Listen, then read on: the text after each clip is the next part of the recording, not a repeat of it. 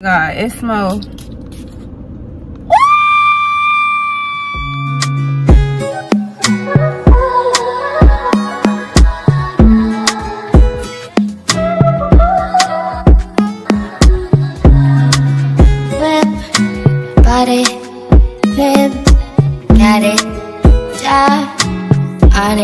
Did I ever ask you to take? Creator, so today I will be wearing Sweven, which is my favorite of the two Ultra fragrance, fragrances that I did receive.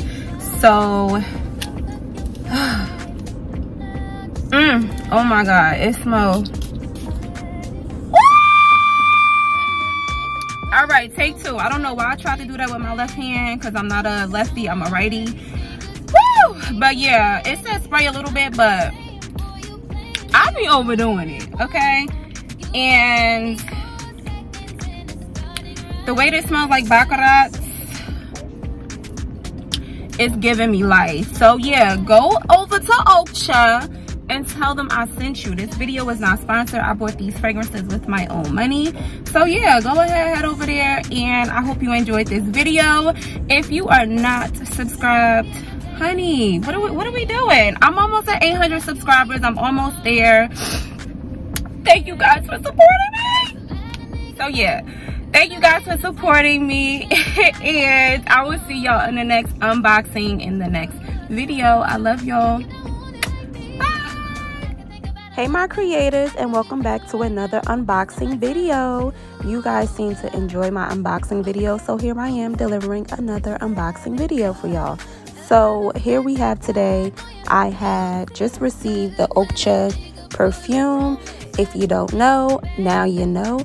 This one is the Oakcha Sweven inspired by Baccarat and this one is the Crazy Good inspired by Effing Fabulous by Tom Ford.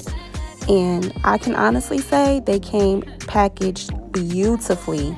I'm a package girl, and when I see items that are packaged beautifully, it just makes me want to buy more. So here we go.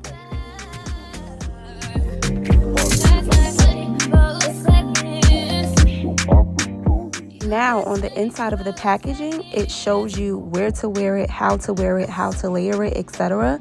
And I could definitely appreciate Oakcha for showing this to make your fragrances last long.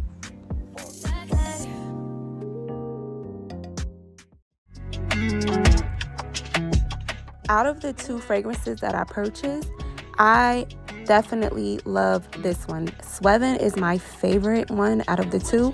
Don't get me wrong, Tom Ford smells good, but this one is my favorite, inspired by Baccarat. And when I tell you the compliments that I've received wearing this, huh, baby. Now, this one also shows you how to store it, where to wear it, and how to make your fragrances last long. Shout out to Oakcha because this definitely smells like the original Baccarat.